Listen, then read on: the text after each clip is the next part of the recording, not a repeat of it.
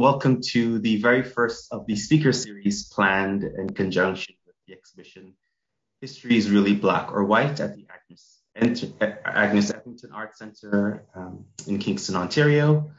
My name is Jason Cyrus. I am the curator on the exhibition, and today we are joined by Anne Guérin, the conservator, and uh, Professor um, Anna Arabindan Kesson um, from Princeton University. And um, before um, we jump into the conversation, I wanted to give you a bit of an overview of how our conversation today will go. Um, rather than have it be too formalized, we thought we could kick off by sharing a bit of about our project.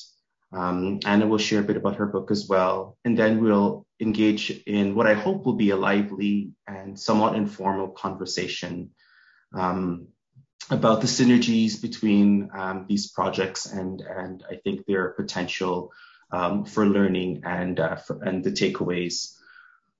So here uh, we're here today to talk about cotton and trade, labor and humanity, but we cannot talk about any of those things without talking about land.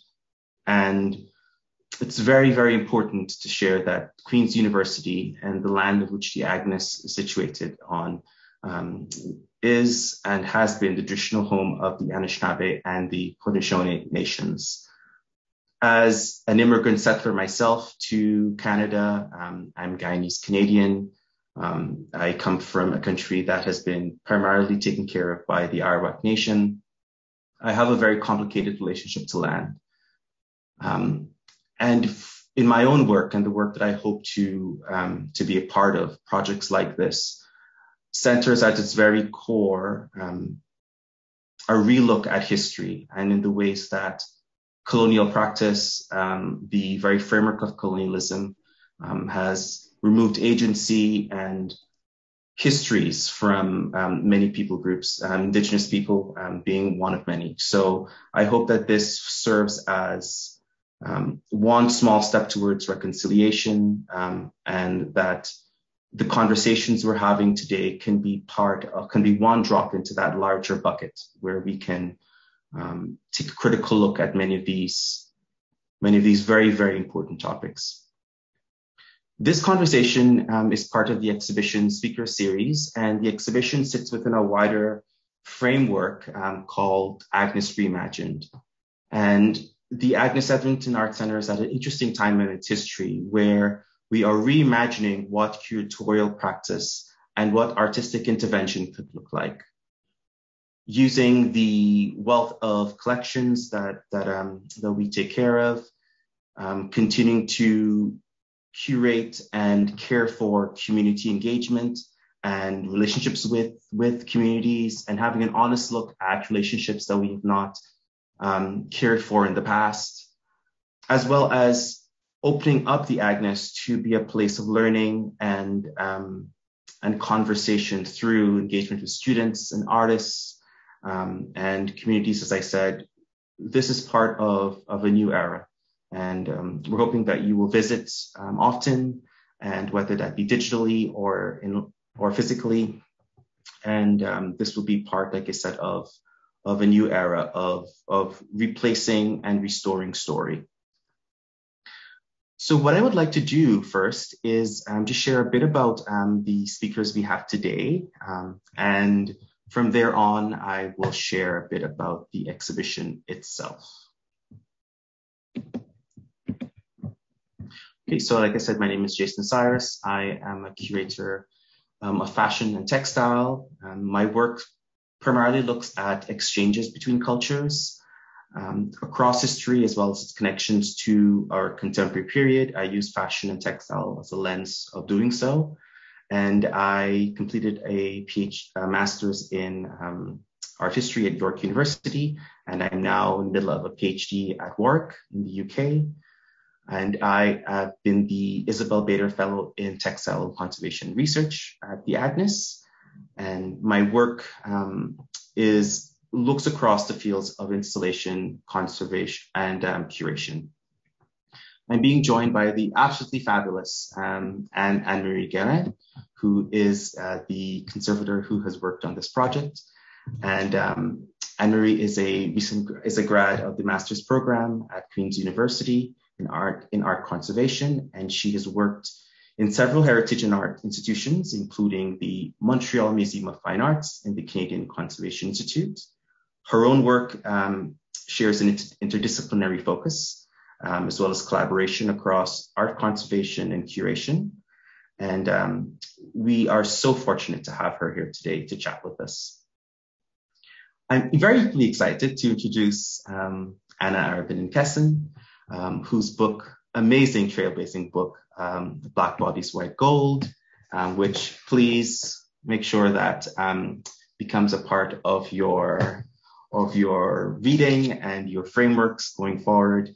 Um, Anna is um, an assistant professor of African American and Black diasporic art um, at uh, the Department of Art and Archaeology at Princeton. Uh, she was born in Sri Lanka and she completed um, undergraduate uh, degree in New Zealand and Australia uh, before um, uh, finishing her PhD in African American Studies and Art History at Yale. And very inter- interesting to note that she was um, also a registered nurse uh, before moving over to um, academics. So um, what we will do is I will share a little bit about the exhibition itself. Um, there is a, as of course, there's a physical exhibition at the Agnes, but um, our digital director, Danuta, has created a fantastic online component um, that's accessible through the Agnes's main page, as well as the Digital Agnes platform, where you can experience the exhibition um, uh, and see its main talking points and main objects. Well, what I thought I would do is just to, to set this up. So this is our very first um, series, is to just share some installation shots, um, shots and to give you a little bit of an overview of what the show is about. And I will share screen. So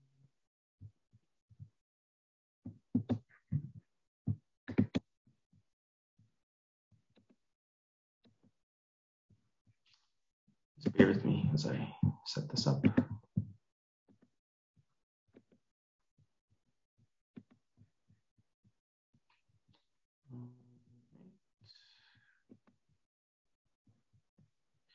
Thumbs up if everyone can see it. Yes, okay, I, I got some head nods. All right.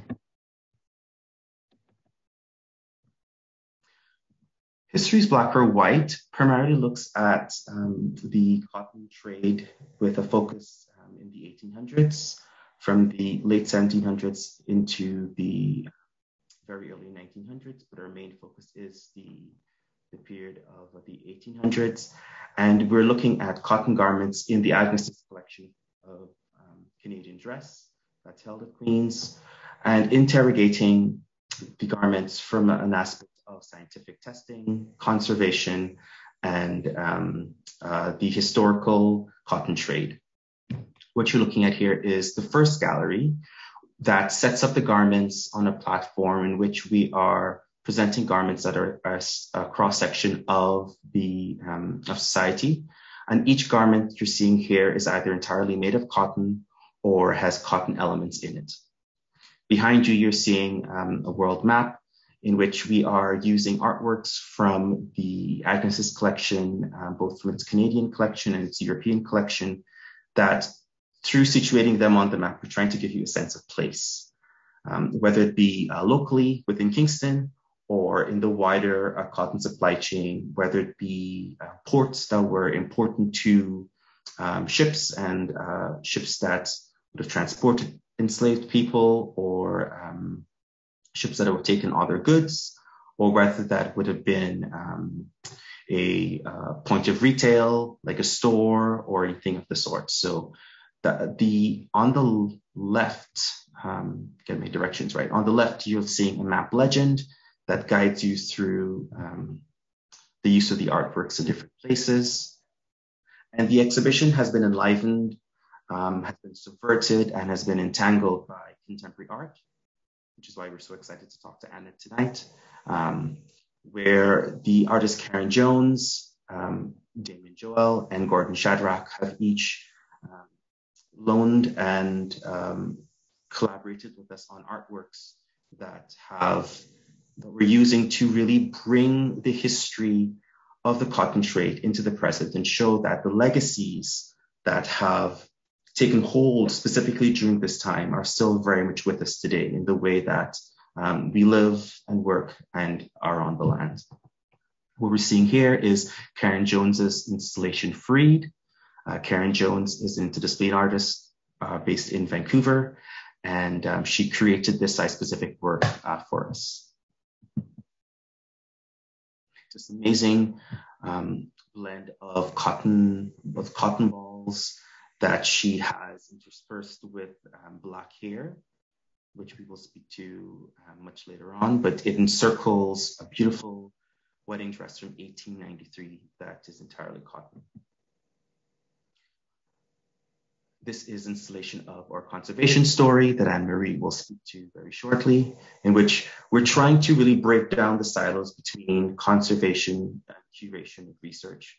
The conservation practice is very, the conservation field and um, the work is very central to the exhibition. And we have put uh, many of the processes up front for folks to come and engage with and understand. And that's available digitally as well. The next gallery um, takes you from, so the first gallery would have done this big overarching um, framework in terms of the cotton supply chain, where the cotton was coming from, um, what were the ships involved, the port cities, and so on and so forth. The next gallery takes it from this wider look into a more um, specific look at the humanity involved in this and restoring the humanity and shedding um, a more specific light on the humanity of um, the enslaved folks who who picked and harvested the, the raw cotton is the central focus of this exhibition. Sorry. This gallery we're seeing here um, the Songs of the Gullah fashion story by artist Damien Joel, um, who is Jamaican American. And Damien's installation here, whether it be in film on the garments themselves, focus on the Gullah Geechee Nation that have been that are settled in the uh, southern coast of the United States, um, all the way from uh, North Carolina down to Florida, along the coastal regions and the Sea Islands. And Damien has created an installation that speaks to their history, their present, and their future. I love these photos. Every time I see them, I, I smile. We will speak to Damien's work um, later on in our chat. So we've gone from the wider supply chain. We're now looking, we've looked at the um, specifics and the humanity of one people group that would have been working on the cotton. Now we're following that trajectory through the Underground Railroad into Canada. And this last gallery looks at its connections into the way that we live in Canada today. And we could say more broadly in North America today, uh, based on the legacy of slavery. We're seeing here um, black dyed garments from the Agnes's collection, a map of the Underground Railroad, um, artwork by Toronto-based artist Dave, um, Gordon Shadrach, who is a portrait artist who paints the portraits of, of uh, Black people, artists themselves or creatives, and we've put them in conversation with some fantastic um, loans from the Ontario Archives and Queen's University's Rare Book Library. Here we're seeing um, some tintypes of formerly enslaved individuals settled in, in what was called Upper Canada, but we now know, know to be Ontario. Um, on the far left is a very generous loan from Jennifer McKendry, who's a, uh, a Kingston scholar. We've paired these tintypes with um, first-hand accounts of the enslaved, as well as allegorical accounts. You're seeing on the left the very first um, print issues of um, The Underground Railroad by Harriet Beecher Stowe, um, these are the first two volumes, so they still include a number of errors that have since been corrected, as well as the name of the character that has changed. And we are extremely fortunate to be able to, to show these accounts. In the middle, you're looking at The Voice of the Fugitive, which was um, the first Black uh, newspaper in Canada, where it was based in Sandwich, Ontario, which is now a, um, a, suburb that has been amalgamated into Windsor, Ontario, just across the, um, the river from Detroit. And this newsletter was used in many different ways to, um, one of which being to, to communicate to um, the enslaved and their descendants settled in Ontario, um, other folks who had come along um, in the Underground Railroad and whether it be a sense of identifying them or being able to connect with loved ones or other folks that you would have known. On the right is a north side view of slavery. And while Uncle Tom's Cabin is an allegorical account based on um, the life of Henry Josiah, a north side view of slavery is the actual account of the uh, formerly enslaved um, and freed individuals who escaped to the Underground Railroad and in Canada it is separated by um, town, and we've opened it here to the story of Eric Brandt, who was settled, who, funny enough, in Sandwich, Ontario, where Voice to the Fugitive was based.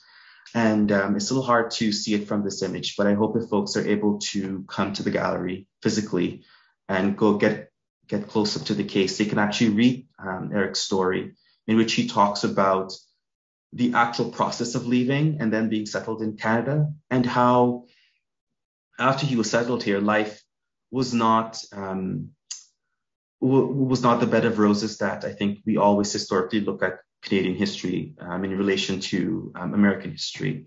There was still a lot of racially fueled violence, segregation in many different ways, and this is where the exhibition really starts to pivot, where we look at the legacy of um, the cotton trade that has produced those beautiful garments um, within the Agnes's collection and connecting the way that these legacies have been entrenched systemically and connect to the way that we live now.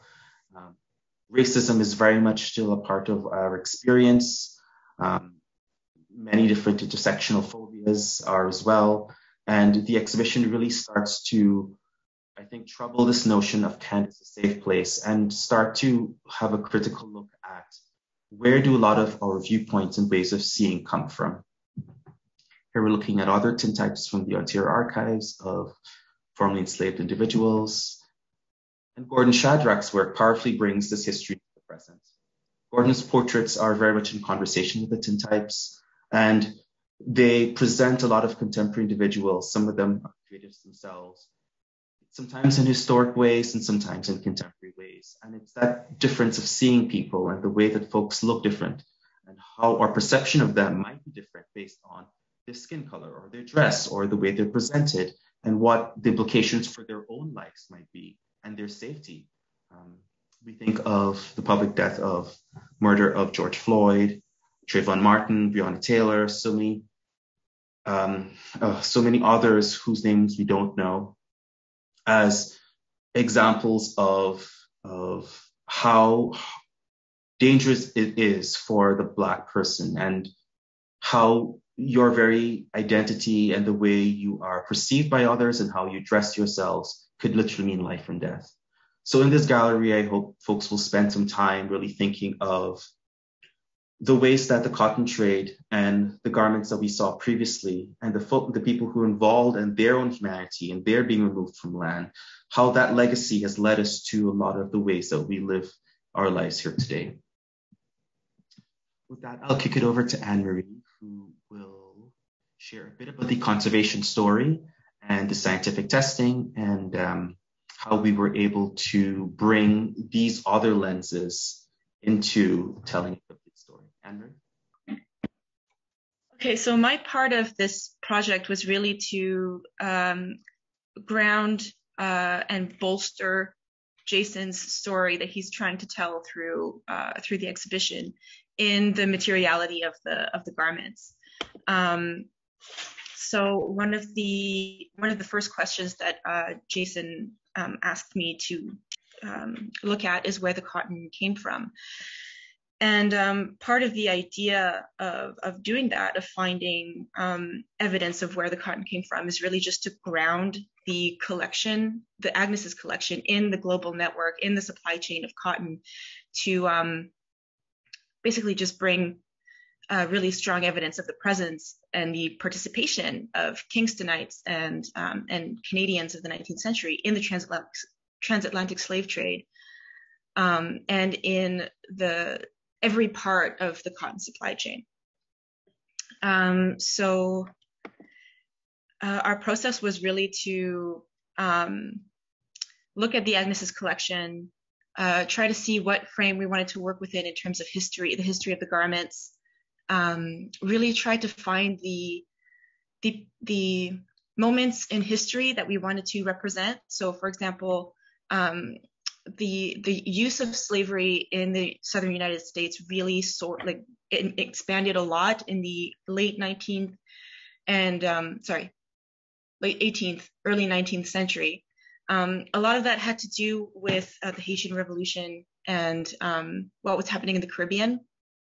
Um, and so we wanted to look at what that transition period was like uh, when cotton became more, um, when uh, slavery was being used more in the United States, in the southern United States.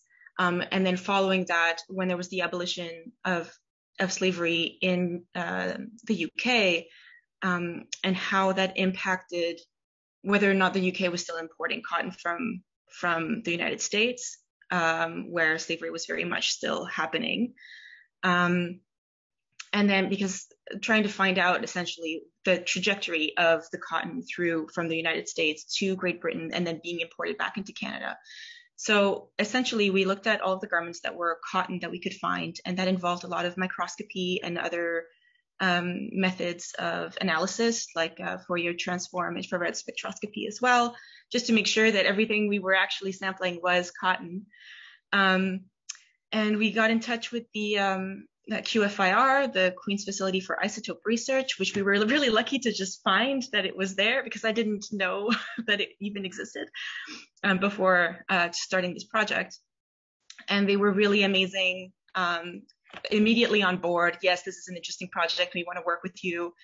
Um, and I think that for me, this collaboration, this kind of throughway between um, the stories that can be told from um, by historical garments or artworks um, that can be told from these garments and how we can kind of work in an interdisciplinary way to bring these stories up and to really bolster some of the stories that have already been told for centuries um, is really part of uh, what this project for me really was about is being this bridge between storytelling and the scientific analysis.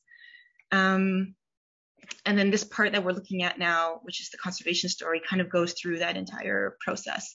So this is the um, some of the analytical, uh, the microscopy that I was mentioning earlier. So this piece was particularly interesting because it's um, one of the earliest garments that we worked on uh, from between 1790 to 1820. Um, probably more towards 1820. But um, what was really interesting in the microscopy was to find that the front of the of the uh, waistcoat that we're looking at all of the weft, so the the the fibers that we're seeing, threads that we're seeing going from left to right, is uh, cotton, and all of the fibers we're seeing going up and down, so the warp, that is all silk. So it was really interesting just from a material point of view to look at this object. Um, and we also found out that the entire lining is cotton. So we had lots of different cotton elements to test with this garment. There was the, the lining, there was a lot of the thread was cotton as well and then um, parts of the exterior of the of the waistcoat. Um, I just uh, this slide is kind of interesting. It kind of shows what one of the typical ways that cotton is um, identifiable, uh, and that is by if you see this kind of twist that's happening in the fiber, that is really really typical of cotton, and you don't always see it because sometimes when cotton is treated a certain way um, that that uh, twist kind of is lost a little bit, and then um, and it can end up looking a lot like silk. So that's when we end up combining different methods. So microscopy with um, FTIR that I mentioned earlier, Fourier transform um, infrared spectroscopy. Um, and then that can help us uh, understand really what the material is just by combining these different methods. Um, Yes, so this is the isotope analysis I was I was um, talking about a little bit earlier, getting in touch with QFIR. Um, I didn't know that it was even possible to find the origins of cotton um, until I looked into um, essentially contemporary analysis of cotton because I found out that it's impossible even or very difficult today to trace back the supply chain of, of cotton and many other materials. So when companies, um, fashion brands, for example, um, kind of claim an ethical source of their cotton or that it was uh, responsibly sourced, it's really difficult to be able to claim that and be sure. Uh, so these companies that want to market their cotton that way or their fashion brand that way um, will go to isotope analysis researchers to make sure that uh, their cotton didn't come from a place where slavery is known to be used today uh, or child labor, so, such as um, areas of China and um, places in Uzbekistan. Uh, so those are two of the major ones, but there are many there are many other places as well. So um, it's kind of coming for me. It kind of comes full circle of this like trying to source where the cotton came from and where the history not just the history but the the humanity of the supply chain is because we separate those so so readily when in fact they're they're so connected um, and I think that that's what we're what that's what this exhibition is about. It's about connecting uh, the humanity with the supply chain. Um, so that's uh, just sampling from the from the uh, the waistcoat that we just looked at. Uh, so that's me sampling um, the thread that runs along. Uh, one of the other challenges uh, that we had is we didn't know if we would, how much material would be needed to get uh, representative data of isotope analysis. So um, we ended up doing a lot of pilot tests uh, with contemporary cotton that we just purchased in stores, uh, spe- specifically cotton that we know came from um, Texas, South Carolina, and Georgia um, as well as some historical samples um, of like extra lace that had been left behind by somebody that didn't, you know, that comes from the probably the turn of the century or maybe the late um, 19th century. So we ran those through isotope analysis first to see how much material we needed to get something representative. Um, and we were so lucky that it, it ended up being just one milligram of material because if it was much more than that, it would have been um, considered really unethical to take that much material out of a, a historical garment. Um, so then the uh, samples um, basically are sent to the lab in these little tubes where they are washed with a, do I have a picture of that? No. Um, they're washed with a, a combination of uh, chloroform and methanol. Um, just to make sure that what we're testing is really what is in the, the material and not anything extra that was accumulated over time. Um, and then it's run through uh, GCMS, so gas chromatography mass spectrometry. Um, basically, what happens is uh, the material is combusted at a very, very high temperature um, so that it breaks apart into its multiple elements and then gets caught into um, a tube I, that is uh, that basically can then measure the mass of each element. So that's the initial process. Then each element, so the elements we tested is carb, are carbon, oxygen, and hydrogen. Um, um, so that's the first part. But then you, in order to do isotope analysis, you need to break down that um, even further so that you can measure each uh, the number of isotopes per element. And um, this is going to tell you where the garment came from because uh, plant materials and animals and anything organic that is living will have accumulated over its lifetime uh, a number of analysis from these elements based on where they where they live. So, for example, for a cotton plant, depending on the water cycles around it, it will have accumulated a certain level of each isotope uh, of each uh, elemental isotopes, um, and then you can it kind of ends up being a like a fingerprint of that that type of plant growing in that region. So um, one of the aspects of this work that is a bit challenging, especially considering historical garments uh, or historical anything, is that um, with environmental changes, um, these can this can change over time, um, and it depends a lot on how much material you've, you've accumulated because what you need to be able to do is to compare that data with other existing material. So the more um, cotton isotope analysis we have done, uh, the more specific we can be about where the cotton came from. Um, so this is really just the tip of the iceberg. So there is a lot of cotton analysis that's been done that is contemporary. So that's really useful to us. Um, but there isn't all that much historical cotton. Uh, and so I, I'm kind of curious, as an aside, I'm kind of curious to see, you know, if there's this much differentiation and um, if we can, if we can do this work on multitudes of garments, can we just um, specify more and more um, the cotton supply chain? Um, and I, right now, I'm kind of thinking about it in this very analytical, very um, uh, kind of obje- not objective. That's not the right word, but it like the thinking about it this way seems to remove the humanity from it. Um, and I think that that's something that is useful sometimes like in science for example like people try to do that i don't think personally i don't think that it's really possible but the idea is to really be objective about the information that you're getting. But if you're only looking at it that way, if you're only looking at it extrapolated or, or taken away from the humanity of what that that um, uh, of of that supply chain, you're really just looking at data, and it's not gonna it's not going to be uh, meaningful to anybody. And the way that this becomes meaningful um, is through um, an exhibition, for example, or some other art form, some other media where this information can just bolster um, the stories that have been told. Um, and they're, st- they're still being told. So I hope I'm making sense.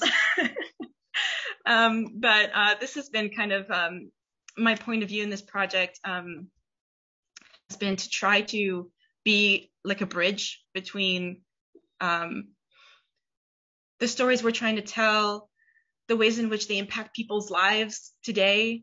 Um, and then also just this very sciency kind of, you know, um, removed thing that we we always consider science to be so removed from us. Um, but it can be it can be really a, a useful tool if it's then kind of um, put in a context, I suppose. And I think that that's what we've done in this exhibition is put this very sciency thing into a context that makes it really meaningful. Um, anyway, I think I think that's. I, I hope I didn't go over time. Thanks. Uh, as you said, what's important is that uh, the science gets put into context, and we have tested the garments in the in the cotton garments that are in the in the exhibition, and we've been working with the isotope lab since I would say was it early spring early I mean, spring, we, summer. We contacted them right at the beginning, like in February. In February, right. So we yeah. this so then the testing process uh, wrapped up um, in early September.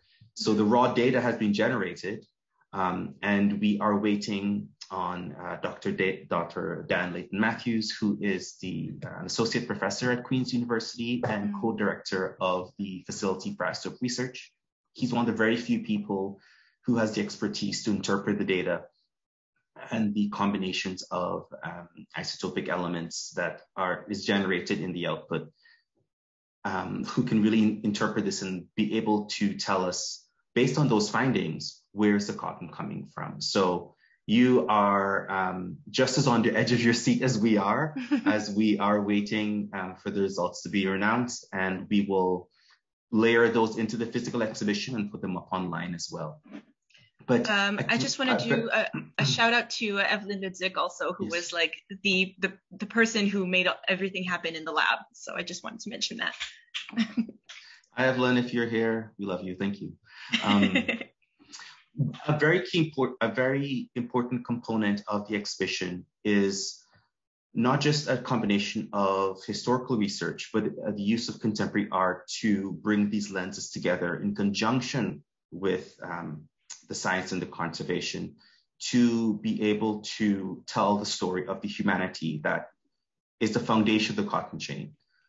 I cannot tell you how excited I am to have Anna Kesson share um, about her book, Black Bodies, White Gold, that it was so interesting for us to be working on our separate projects and then to realize the synergies that exist within. So Anna, um, please uh, give us an overview of the book before we chat about the connections with Arian. Thank you. Thank you all. I'm just going to share my screen. Uh, so first of all, um, I want to say a huge uh, thank you and congratulations to Jason and Anne-Marie for an amazing uh, exhibition. I haven't seen it, um, unfortunately, but I've seen it online. And, you know, um, for us academics who are sort of stuck away from the, the world at times, it's just amazing to see um, how, you know, how your work is in synergy with with other um, professionals and with other people who are thinking in a similar way. And I, and I have to say, you know, this is my first book, and it also just made me feel like, oh, I'm not completely crazy. you know, someone else is thinking this way. Um, because I think in fields like art history, sometimes this sort of um, transnational, transhistorical framework is, is sometimes hard to sustain um, and hard to create just because of the, the limitations of, of disciplines and and um, and they, maybe that's something we'll talk about later. Um, I do also want to acknowledge that I wrote this book, I researched for it, I'm talking to you about it from unceded land. Um, I'm here um, in Princeton and I'm sitting on the unceded territory of the Lenape people. And I just want to acknowledge elders, past, present, and future. Um, and I think talking about cotton, you know, we have to start, as Jason said, with land and with that those processes of, of genocide, um, of clearance, uh, and of transatlantic slavery to really understand the continued implications of um, of these visual and material histories today. And so my work uh, and my book really, I think, does what Jason um, sort of ended his presentation with by saying, you know, what is it or where do ways of seeing come from? And as an art historian, and I think as as a former health professional, that's really what shapes everything I do, my teaching and, and my research, right? How, how, do, how is it that we see the way we do? How is it that um, seeing influences the way we value and relate to others? Um, and how can we dismantle and redesign those frameworks? And so um, the the book also came from the work of contemporary artists, and I'll sort of unpack that as I go. But I wanted to start with this work by Hank Willis Thomas, who I'm sure many of you know. He's based in New York. Um, it's called Black Hands, White Cotton. And it, I think, visualizes and materializes the, the sort of uh, intimate histories that I'm dealing with, which is the history of the cotton trade and the history of the slave trade. And my, um, what I really kind of focus on is the ways that blackness is uh, visually constructed, the ways that blackness is formed. Um, and for me, that starting point in terms of cotton and slavery is the economic relationship between the commodity of cotton and the commodity or, or the commodification of enslaved uh, African people who were brought to the um, the the Americas, Caribbean, the U.S., um, Canada too. Um, and so I kind of take that from Frederick Douglass, who in a lecture to abolitionists in London said, when the price of cotton goes up, so does the value of an enslaved person. And I think Thomas's image here really helps us to visualize that economic logic, right? To, to, or rather, to visualize the ways, the way that an economic relationship can become a visual framework. And I suppose that's really what I'm trying to do throughout the book is is really emphasize how this sort of economic logic has influenced and continues to shape ways of seeing. Um, I think another aspect of this um, intersection uh, of economics and visuality um, in the production of, of blackness through uh, the cotton trade is the way that cotton connected different people in different places. And I think that you know this is something that comes out in sort of global histories or um, popular uh, popular um, advertisements for cotton as a kind of fabric that connects. But what I think what is missed in those uh, histories is often, as Jason and Anne Marie highlighted, the humanity, like the lived experiences um, of people who are um, and continue to be um, embedded in these global uh, exploit systems of exploitation and oppression. And I was particularly I work um, in the, my book, and you know, is, is, I work with the um, art, the artistic oeuvre of Lubaina Himid, who's someone I greatly admire and um, has been very generous to me in kind of helping me frame my research. Um, and this is a work called Cotton.com, with which she, in which she is exploring and materializing the relationship that cotton created between enslaved people in the U.S. South and um, cotton factory operatives in Manchester, uh, England. Um, and so she creates these canvases, which are in black and white, so symbolizing that intersection. They're on cotton.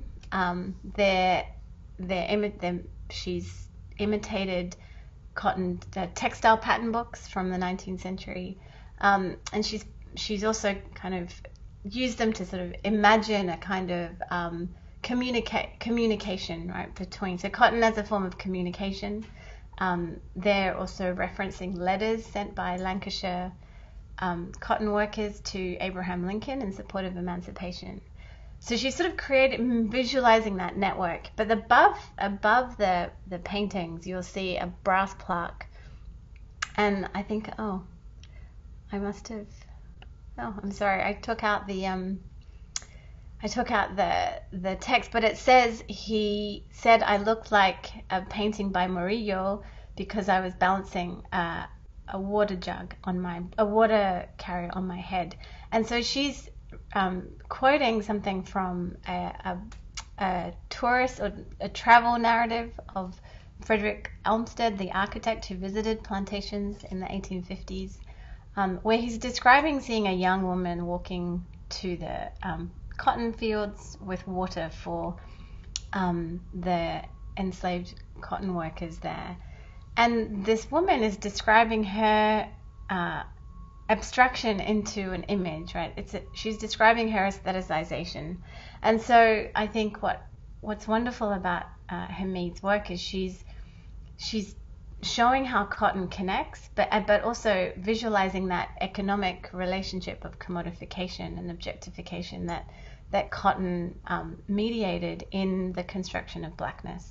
And so using Himid's work, I look at, I, I talk about um, the textiles that were actually used to clothe enslaved people, textiles that traveled, and at the top you'll see um, an image of what was called Negro cloth, um, cloth that was made in Rhode Island, uh, in Massachusetts, and it was also made in the, versions of this were made in the U- UK and sent to the Caribbean.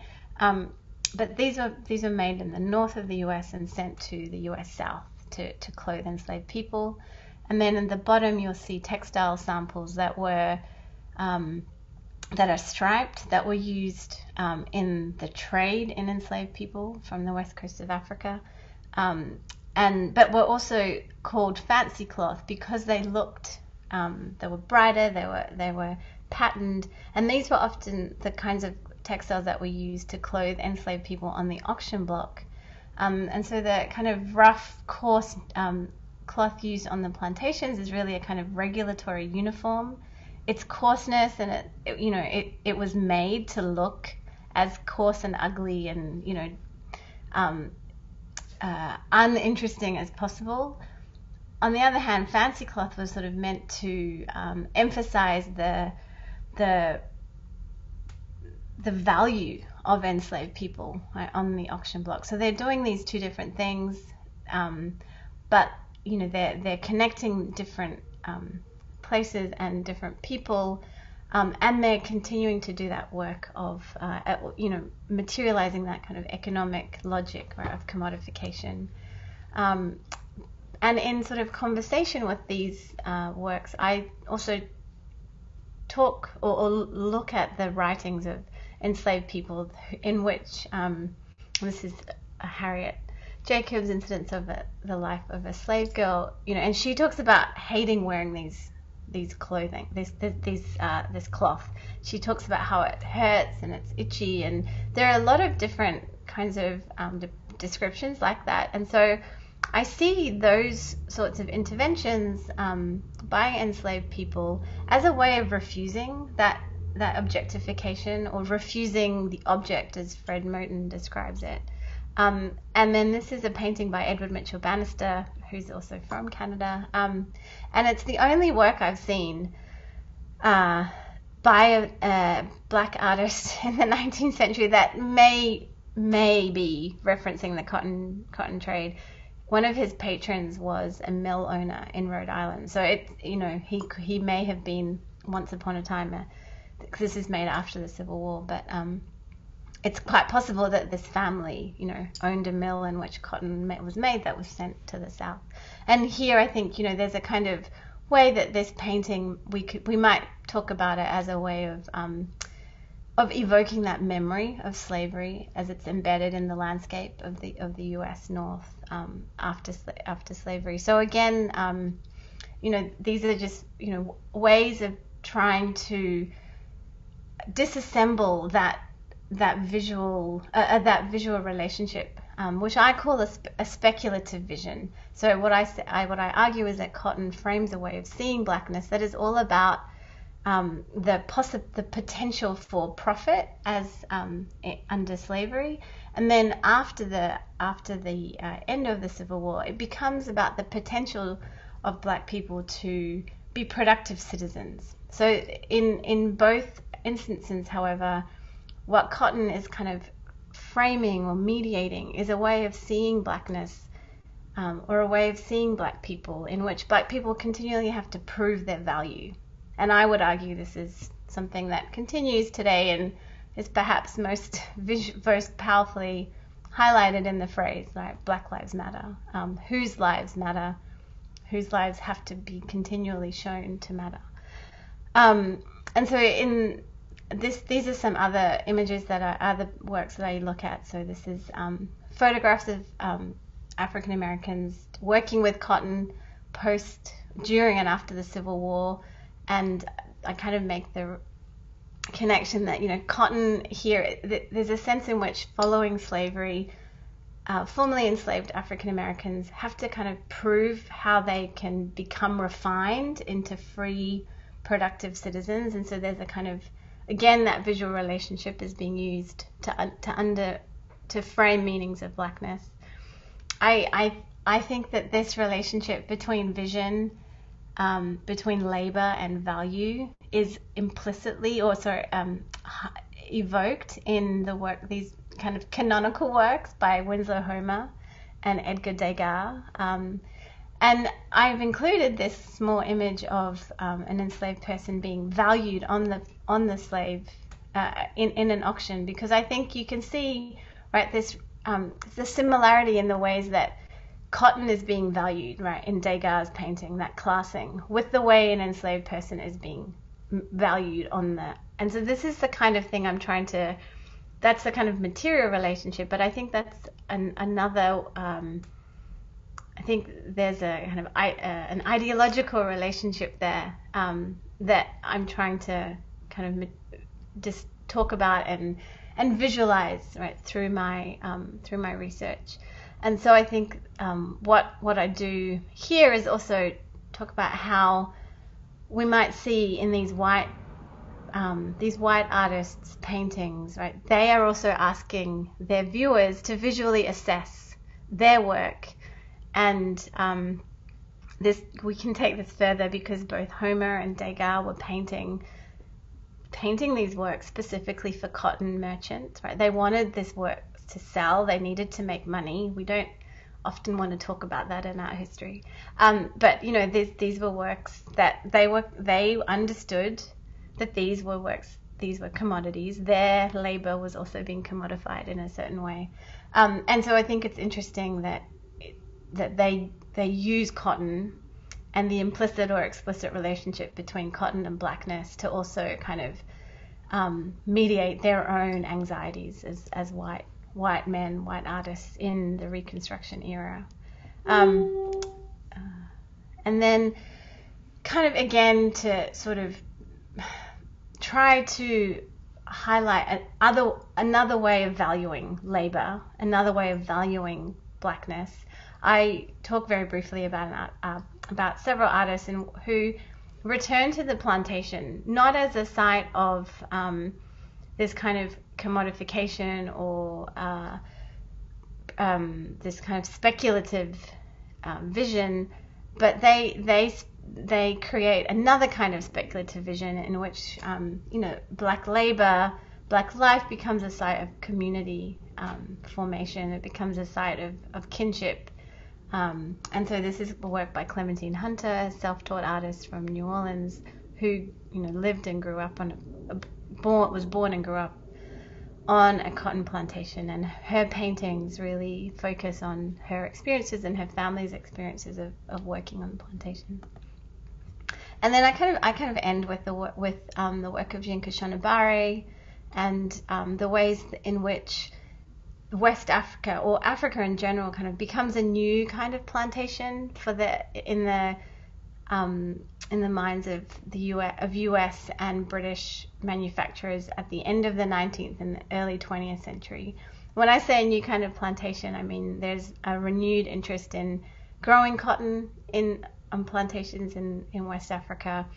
And there's also a renewed interest in uh, West African con- consumerism, so West African communities as new markets for American and British cotton production.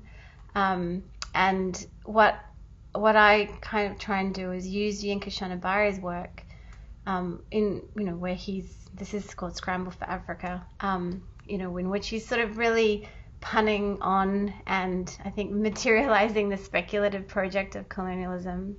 Um, but also allowing us to speculate on other kinds of intimacies, right, that cotton might have created between West African consumers and the uh, South and Southeast Asian um, manu- uh, Southeast Asian traders that they were working with, um, you know, that they, um, and so the ways that you know cotton might help us imagine other kinds of alliances and, and intimacies that that are perhaps um, that are also embedded in these colonial networks. And this is Agostino Brunias's painting of a market scene in Dominica in the late 18th century that I think is an interesting correlation to, to Shonibare's work in terms of the movement of cotton and the kinds of connections it creates. Um, and then I, you know, I think again, as Jason and Anne Marie have highlighted, you know, this work is not it's not just about the history; it's about its continued implications. And this is a um, when I was as I was writing the book, I heard about this um, man at Yale who worked in the dining room, dining hall of, of one of the colleges um, that I actually used to be a, a fellow at, and he um, he smashed this stained glass window of these two uh, cotton pickers, and um, I think that what you know. It, you can read about it. We can talk about it later. But um, what Corey Menafee did, I think, was such an important act of of decolonization, of uh, disassembling that I think we're trying to do here, right? But he's also, but one of the things he said was he did that because he didn't think it was right that anyone could had to, had to come to work every day and see these pictures, see these images, and work under them. Um, and so I think, uh, you know, for me, I think that's really what I want to do, kind of sort of you know, in in this, and I think that's what these artists are asking us to do, right? To to disassemble, to to break down these these visual frameworks in order to reassemble new um, new futures of care and collaboration and uh, and equality. Wow, thank you, Anne. Um, I, self, I selfishly want to just hear you talk for the rest of the time, but I, I, I know that wouldn't be fair. What I think I'm so impacted by as you've chatted and as you've spoken, Anne-Marie too, as you've shared your own thoughts, is how we keep coming back to the humanity that's the core of the cotton trade. A very basic question I think was posed to me quite recently was, why is that important? And why is it important to connect cotton to the way we live now and what relevance does it have? And um, I'd like to pose that to both of you, but I can say for my own self, just looking at our, the way that in a sense, working across conservation, curation, um, art historical research and, and teaching as well, the way that the three of us, normally our, our fields are very siloed. Um, we're, they're, they're kept quite separate. As somebody who studies um, fashion history and dress history, and the history of textiles and trade, that focus on the materiality of garments, their constructions, the raw materials, the importance of a garment to its wearer, whether um, you know it would have been something worn at a wedding or um, it would have been something used as a trade item. There's so much emphasis on that aspect of things.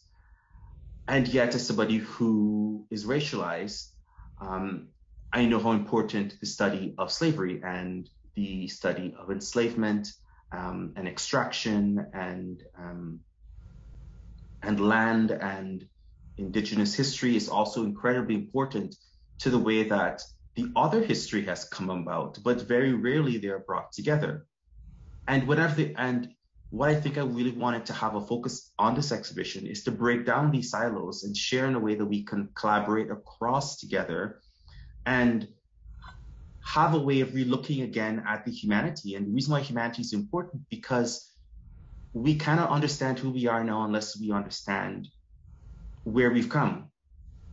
The ways that we see each other and the way that um, blackness is policed now and the way that there's so much systemic oppression is connected to the very cotton trade. During the eight, I mean, slavery was happening um, obviously before the 1800s, but it's that period where slavery and the colonial project um, and the inventions with the cotton gin and the roller printed machine um, and the political things of um, the abolition of slavery and the Civil War and many other, um, and as you mentioned, like this whole parallel histories, the Caribbean, it's Southeast Asia, it's the States.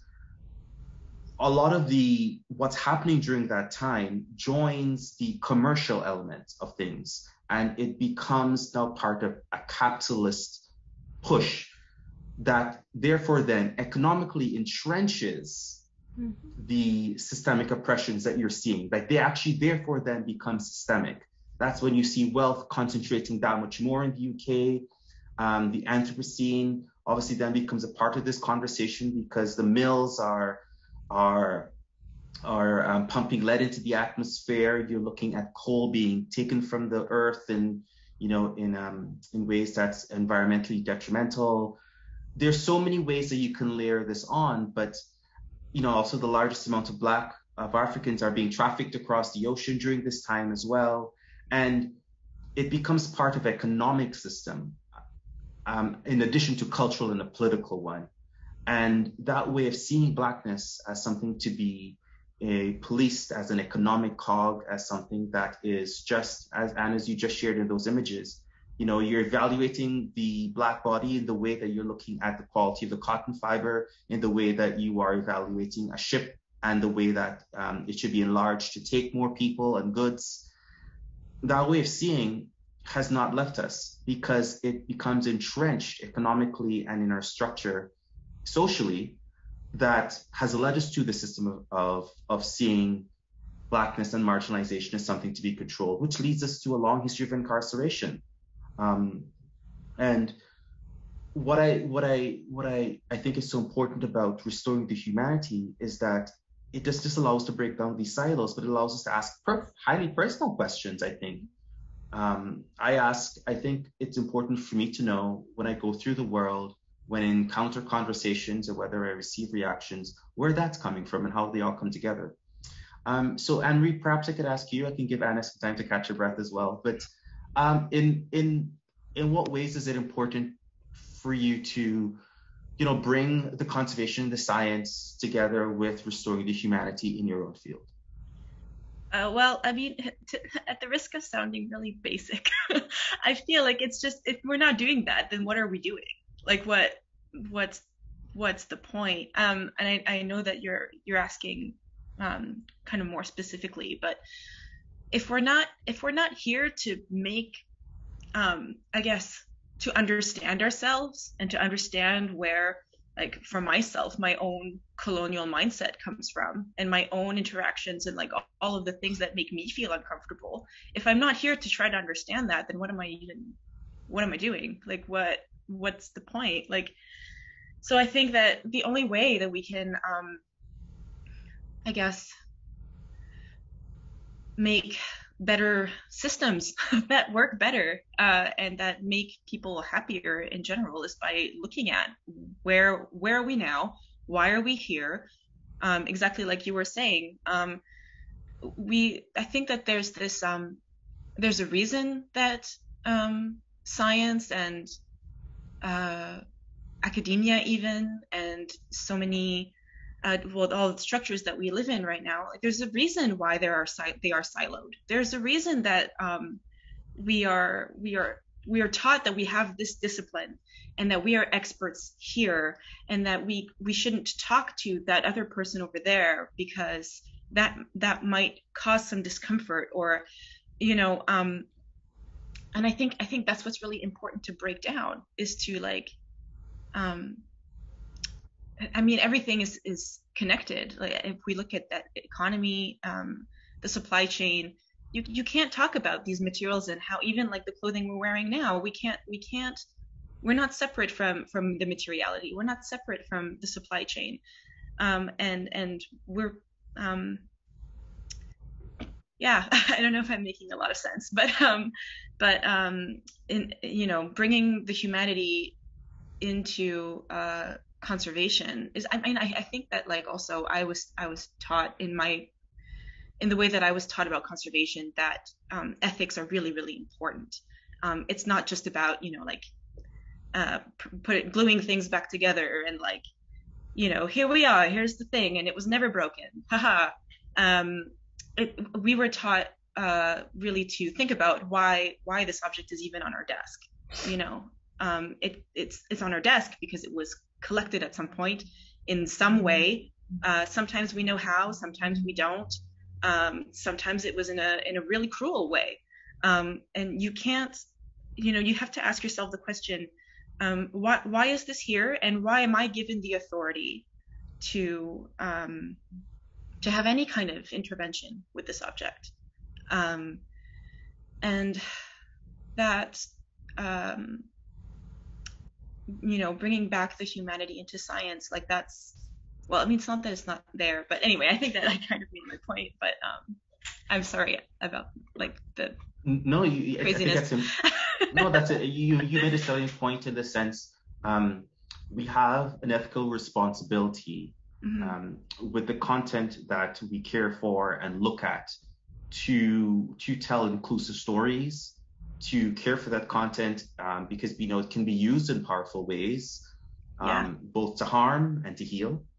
And yeah. um, I think you're doing exactly that with the conservation and the testing. Anna, for you, in terms of your own lens, why is why would you say why was the humanity so important to the lens of this book? Um, thank you. Well, I mean, I agree with everything that you all said. Um, I, th- I mean, I think on a personal level, you know, as I said in my talk, as a nurse, I I saw actually in very um, granular material detail, right, how these kinds of these legacies of slavery, of colonialism, how they physically continue to Im- have an impact on the the health and the lives and the livingness of people, as well as just the way people are, treated and have access. And so I think to me, um, any kind of uh, structural sort of analysis that I can do, and um, that's actually why I moved into the humanities, you know, why I left nursing, because I, I, wanted to be able to, to start thinking on a structural level to rather than just having, you know, it just felt like the kind of um, the individual everyday sort of work I was doing was not individualized everyday work I was doing was not actually doing very much in the end. But um, I thought any kind of structural analysis that we do has to have has to then have a uh, have an impact on lived experience, and, and and I think that you know visuality and how we see it's so uh, unconscious. I mean, in the sense that you know uh, it's as a sen- as a sensory experience, right?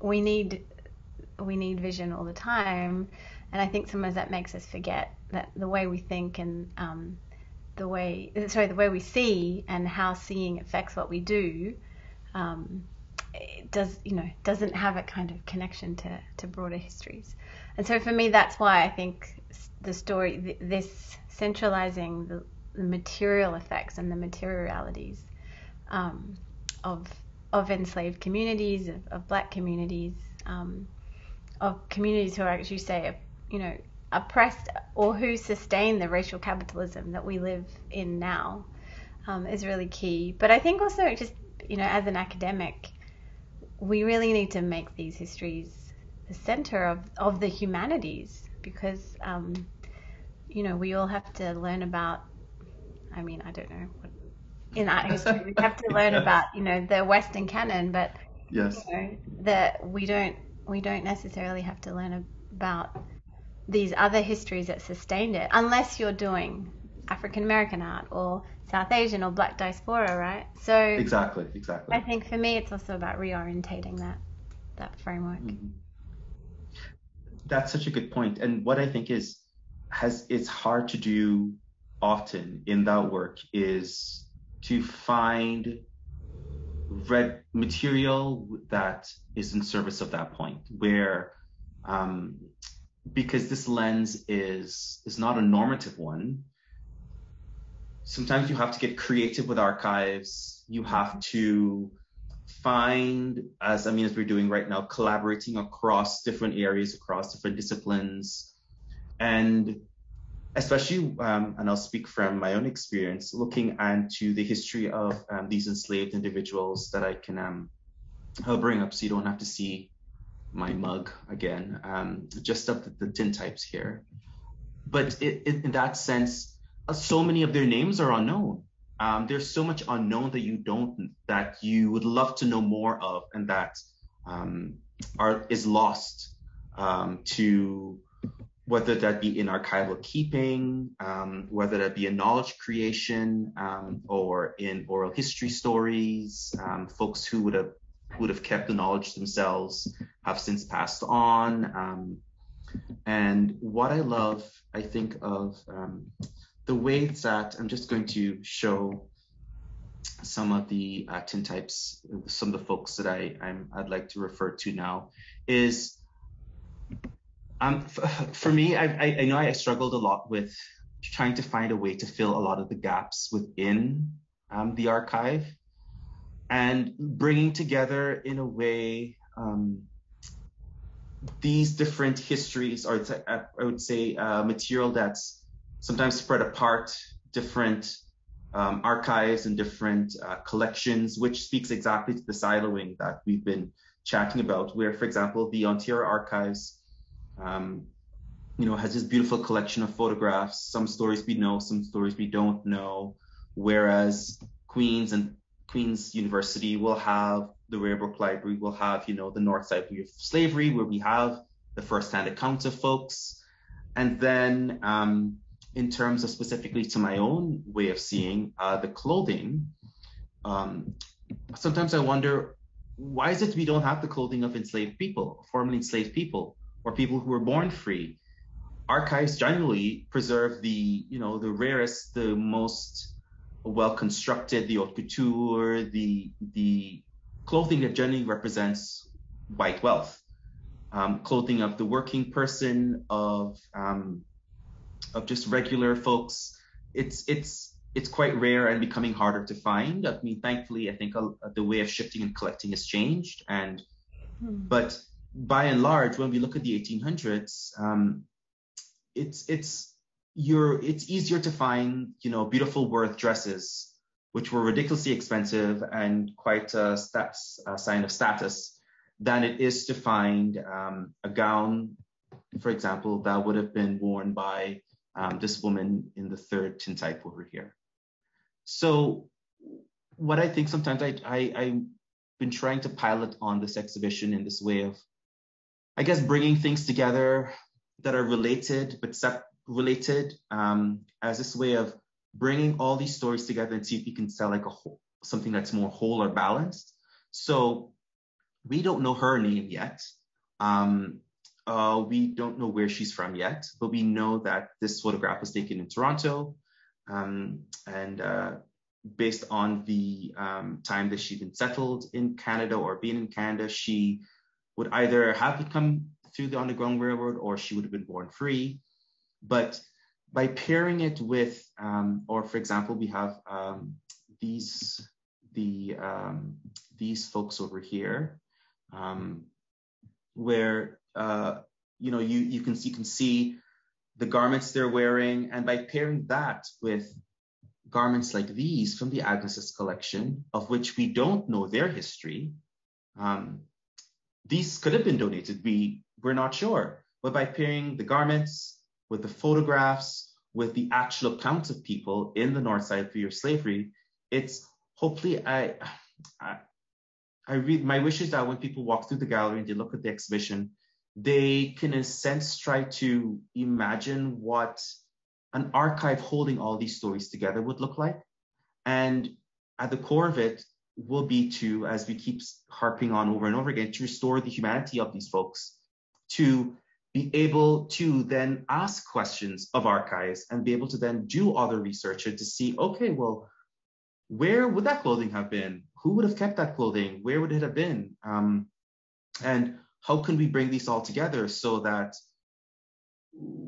we, we, we don't just stand back and say, well, we don't know so much, but we try to use a combination of research and imagining and um, collaboration bring these stories together. So we're starting to see a more full picture of, of what these histories are. Um, and Marie, I, I, I, mean, I'll, I'll, put this out to both of you. I don't want to be too, too, too formal because I don't want to run out of time. But, and Anna as well, was there some way of looking into archives that you had to be more creative with or non-normative with to be able to tell the story? Yeah, that's a that's a great question. Um, and and I think you've, I mean, you've got the main points there perfectly. Yes, I think that um, for me it was really trying to find a way of working with what wasn't what well not what wasn't in the archives but what was absent and i think i think that sense of absence is um, is an important place to st- start from. So I think you'd mentioned earlier, you know, the kind of trauma of just seeing um, names in a ledger, or or not even let names. I mean, in my case, it was the names and measurements, you know, or descriptions of enslaved people working on plantations, um, kind of abstracted down to their job, so a field hand or a hoe, or you know, because they were out there kind of furrowing. You know, so um, it, so I think, and I was really influenced by um, Saidiya Hartman, you know, who talks about working from this space of loss without re-traumatizing those, um, or, or, without reenacting that trauma. So I was, um, I think that's where contemporary artists really helped me to think about different ways into that space not in order to cover up the space or fill it, because I, I, don't think that's what we're trying to do, um, but actually to to speculate, um, to perhaps um, use the archive, you know, to as you say, to materialize these other other positionalities, um, other histories, but also to just, um, I think, to sit with that loss and, and remind ourselves of what what that loss means for us now um, as well. Marie, for yourself, for me. Yeah, well, I mean, I think that that's one of the ways in which um, uh, institutions or systems, I guess, uh, for lack of a better word, um, create um, barriers um, for for important stories to be told, um, especially um, stories where there is absence um, because one really common, I guess, thing to say or to think is, well, we don't know, so we're not going to talk about it because there just isn't enough information, and that that comes from a very like, I mean, I, I'm I'm sure part of that is like again, uh, trying to protect um, ourselves from places where we might feel uncomfortable because we have to confront some things that we're not we don't like you know?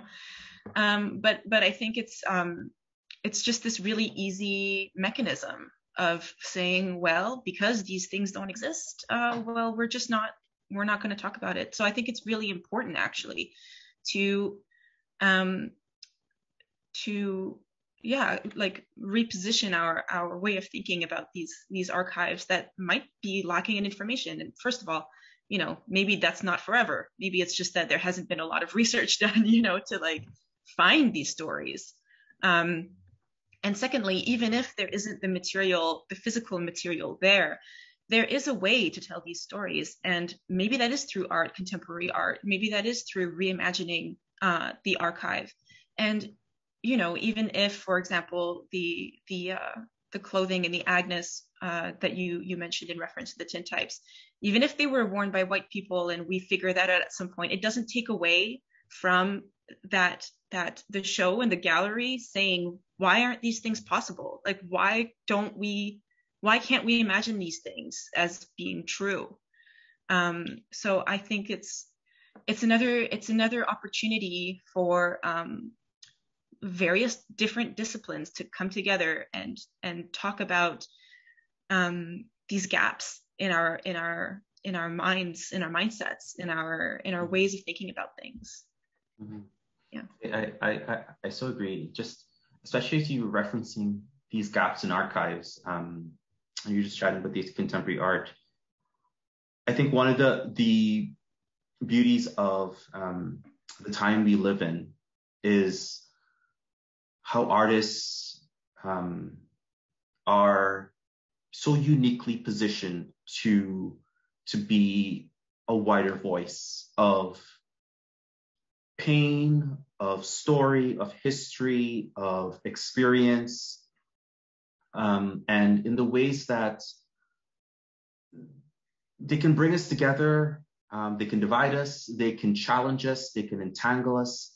Um, and one one of the things that when I was reading Anna's book, um, and you and I were chatting this year as well, that we loved about the synergies between Black Bodies, White Gold, and History is Rarely Black or White is the way that the contemporary art featured in both projects makes clear the ways that the structures um, around the cotton supply chain and the cotton trade and enslavement, um, and as you so articulately said, frame blackness, um, and as we really tried to show in the last gallery, affect the way um, that we see blackness today. So um, I know I don't want to run too much of time. We have about eight minutes uh, left or so, but I'm wondering, Anna, can you uh, share a bit more of that um, of your colleague at Yale, um, who worked in the uh, is it the dining hall, um, and just I just was so fascinated by by that story and the stained glass window, and perhaps Anne Marie and I could pick one work from the contemporary art from the contemporary section and speak to it. But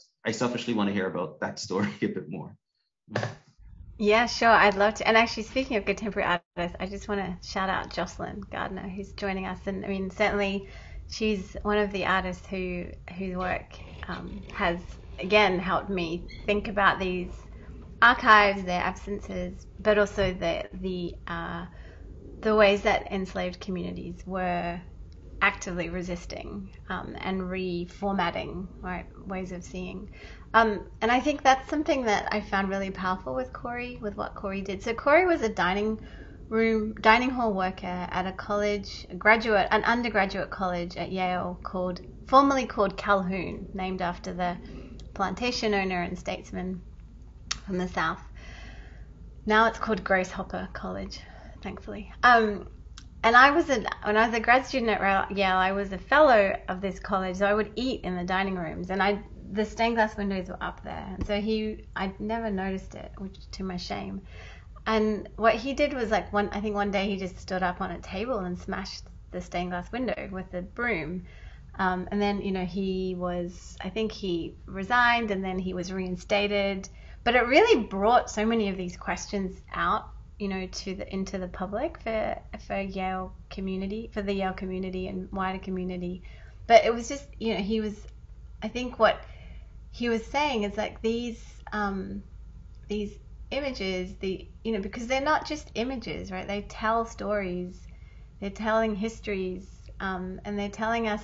I mean, they're telling us worldview. They're telling us ways of seeing. So, um, so he was just really highlighting the kind of the psychological, physical effects of of this kind of um, of these images, of these histories, um, because they they continue to, to shape right, how people see each other. Um, and one of one of my colleagues, Eddie Glaude, who's my, the chair of our department, he he talks about this idea of the value gap. Um, and essentially, you know, what he's arguing, and I think it's absolutely correct, is that um, in the United States, anyway, you know, certain lives are valued more than others. White lives are valued more than black lives, um, and that's and that can be seen in a whole range of structural um, processes. Uh, and so I think you know that's for me that's really where what Corey's act highlighted, um, you know how that kind of valuation continues and how it affects the, everyday lives of people.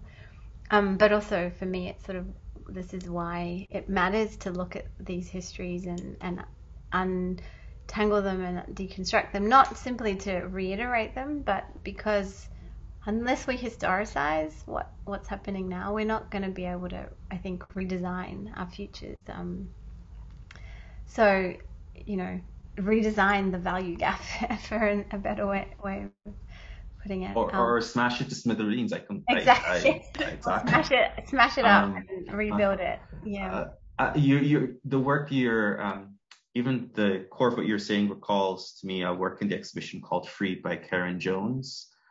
And um, I'm just going to share it very quickly. Um, this is it's this installation based uh, just with cotton and hair, and it encircles a wedding dress from 1893. And just as you were chatting with Corey, I just um, immediately Karin's work came to mind, and it's a sense of, um, I mean, like I said, like I study and look at dress history so often as part of my vocation and my research.